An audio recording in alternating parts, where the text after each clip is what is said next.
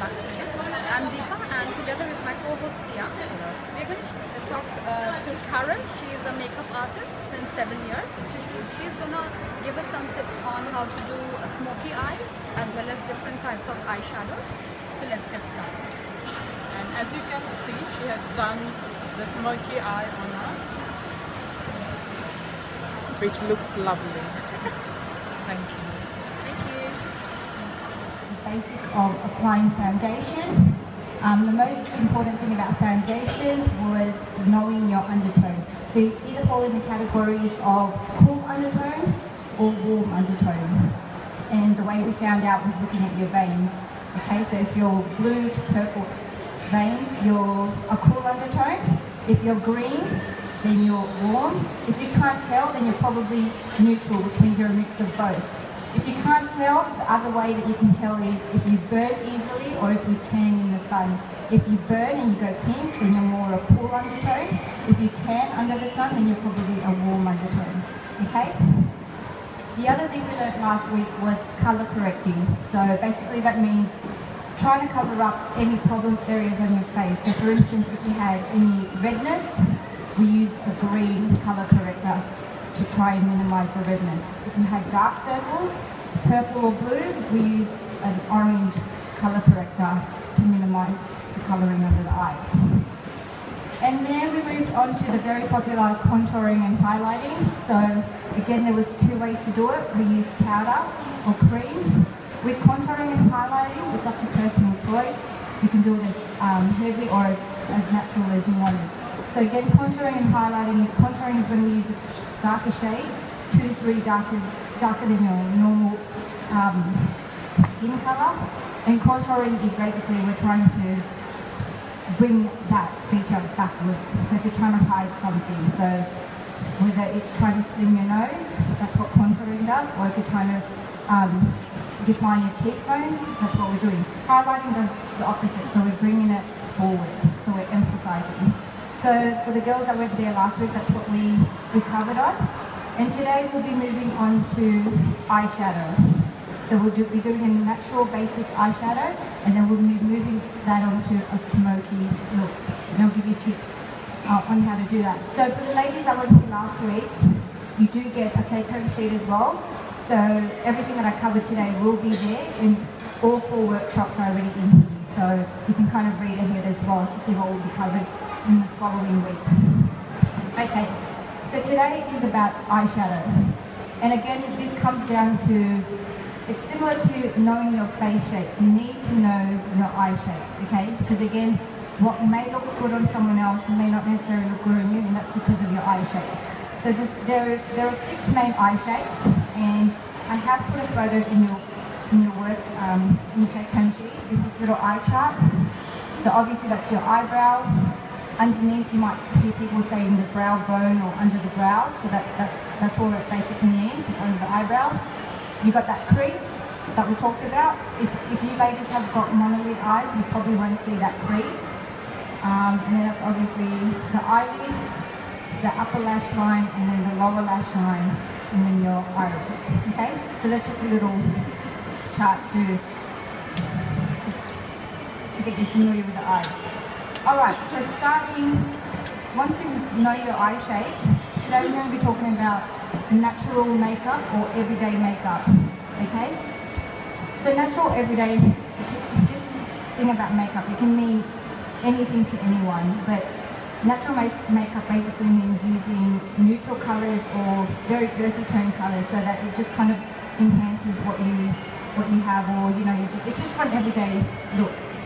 Now if I've, you've got palettes on your tables, I've got one here as an example. If you want to go natural, I would suggest using these types of colors, so your browns, your earthy tones. I mean you can go a little bit on the pink side because it's quite light. Um, and also if you want to stay natural, I would suggest doing staying in the matte side. Because once we move on to smoky, then we can do the shimmer and a little bit more um, bolder colours. So, the best way to do this do, can I get a can I get someone that I can do a demonstration on? Okay. So hopefully everyone can see me here. So the most important thing before we start on any eye makeup is eye primer. So similar to what we do with foundation, you need to prime your eyes. Why? Because it will give you long, longer lasting eyeshadow. It will stop everything from moving. And for those ladies who have hooded like me, will stop the product from going on top of your eyelid, okay? So I'm going to use I'm going to use Deepa as a as a demonstration. Now the thing is, you can get most, you can get a lot of eye primers out there now. It's actually overwhelming how much makeup there is. But I'll get Deepa to close our eyes. You just want to use your fingers and rub that everywhere in the eye.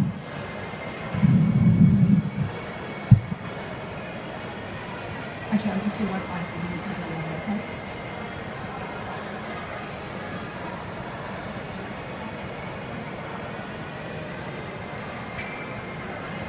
you? Now you girls did get a brush kit as well, so you do have a few brushes there that you can use for today. So I'm going to do a natural everyday um, eyeshadow for Deepa. So I'm just going to go in and use some browns, but at least this will give you an idea of what um, what a what a natural makeup looks like. So I'll go in and just use this brown and I'll put it all over her lid.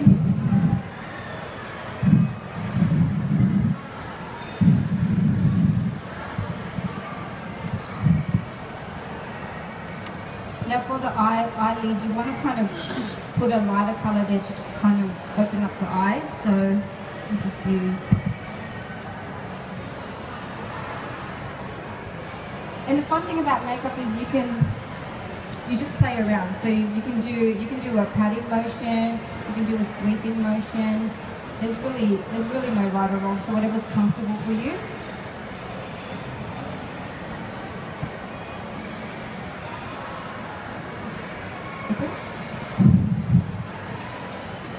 Now the important thing with um, eye makeup is you need a good brush for blending, okay? Because obviously you don't want any harsh lines, you don't want to see any kind of um, like a clumped up um, eyeshadow or anything like that. So you want to be able to blend. So a good blending brush will always be your best friend when you're doing eyeshadow.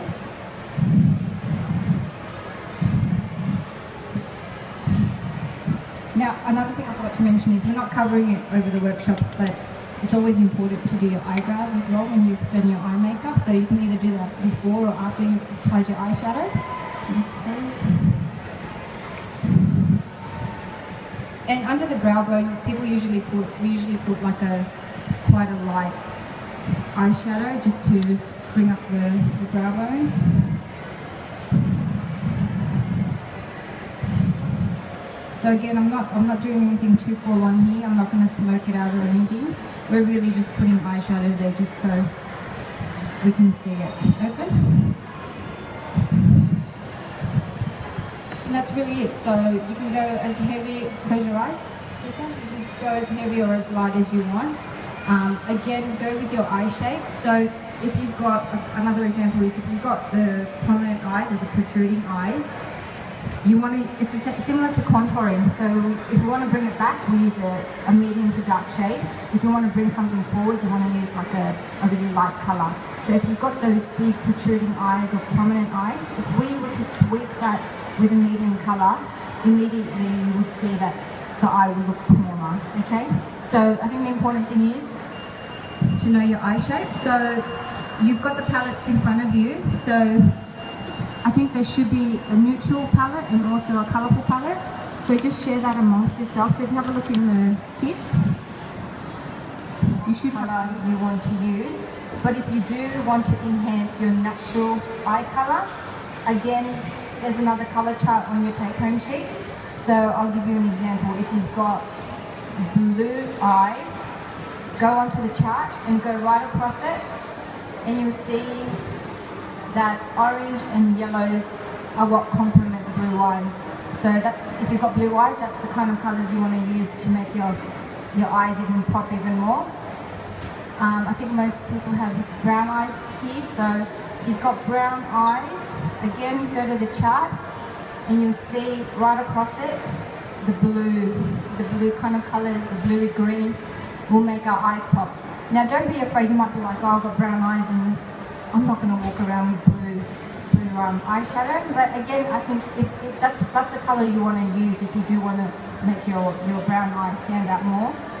Now if you don't want to use eyeshadows, there's also these um, eyeliner pencils. So if you want to go a little bit more subtle, but you do want that blue, or you want that purple, you want that green, instead of using a black or a white eyeliner, you can use blue, green, purple, all the colours are available out there. Okay.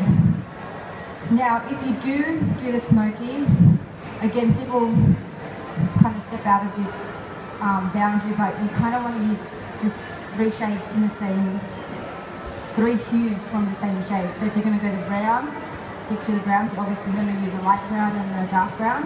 If you're using blues, you're going to use three different blues. But again, nowadays, if you look at Instagram, people are mixing colours. They've got blue up here, but then they've, they've got a green eyeliner. So that's the fun thing about um, smoky eye. Actually great for beginners. So if you have never done a smoky and you want to kind of get a guide, sticky tape's the way to go. So just grab a little piece, and what you're doing is, just look straight, we're going to place this on the corner of the eye, just like that? It's creating a V. V. From her, from her, the tip of her eyebrow down to the corner of her eye. It's creating a gold. I'm going to go ahead and still use the browns, but I'm going to smoke it out.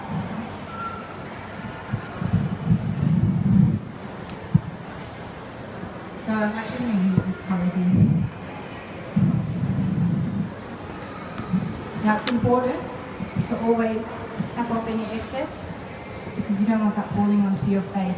Now another tip is, as a makeup artist, what I usually do is I actually do the eyes first before I apply foundation because what you do find that if, you, if you're not tapping the excess off, it is going to fall here and if you've already applied foundation, gonna, you're going to have a hard time wiping that off. So for me personally, everyone's different, but I actually like doing the eyeshadow first before everything else.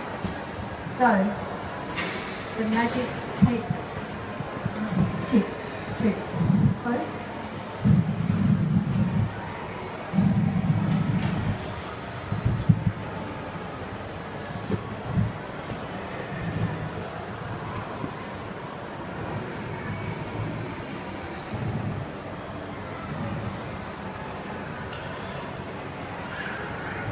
Can everyone see that? I've just created like a V. Oh, when I take off the sticky tape, you'll be able to see it more, but so I'll get um, Danielle to close, and we're going to blend that. Blending softens any harsh lines, and it just creates the flow of all the other colours that you've used, okay?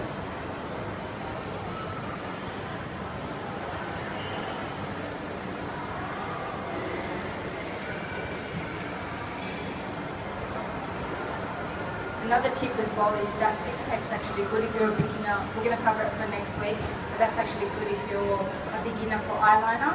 So that will create, um, that, that acts as a guide for where your eyeliner will go. But we'll do that next week.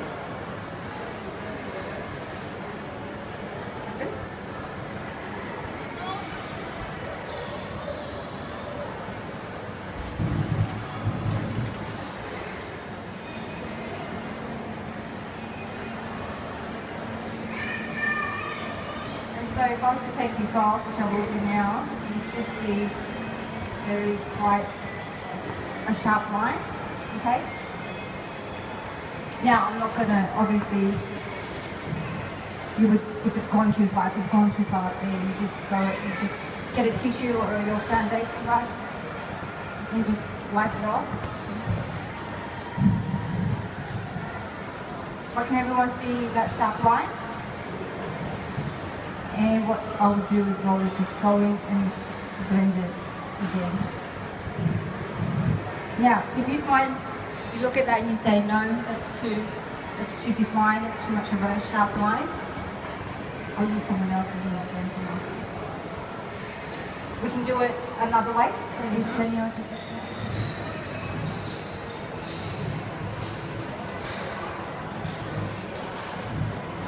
So if you picture it, when you're looking right, you just, you're creating a V, okay? You're creating a V. So you're bouncing it off from the corner of the eye, going up towards the brow bone, and taking it back in.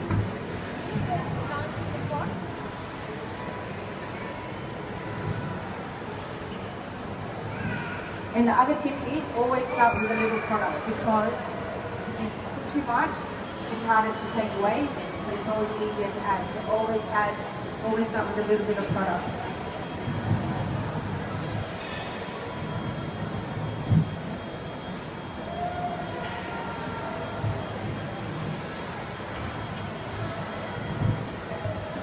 Okay? And now I'm going back in again and blending that.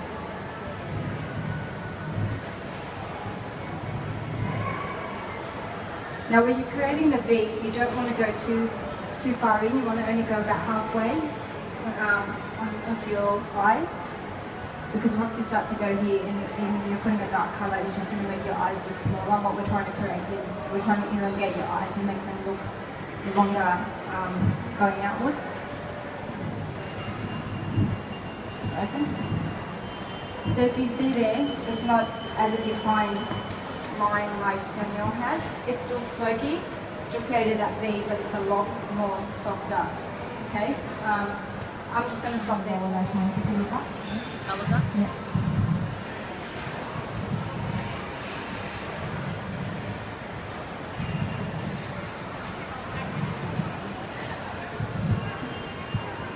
Now the key, so obviously the colours you've used up here, you want to bring it down to your lower lash line. And if you want to make that even more smoky, you can go in with a black.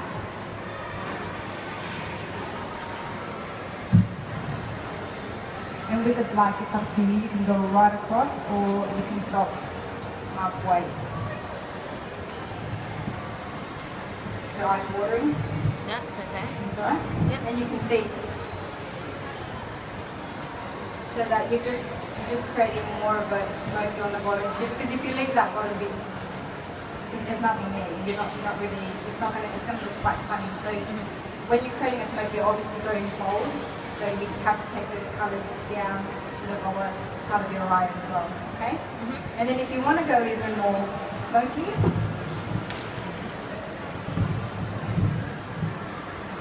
grab a black, and I'm going to put this in your waterline. So it Okay. starts to get really Yeah, watery. yeah.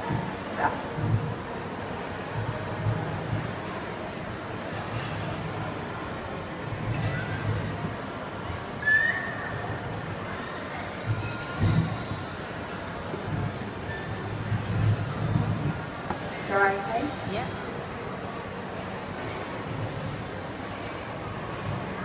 What I mean by tapping the excess off because I can see a lot of it is falling on my face. That's alright. That's okay. Yeah. So there you go.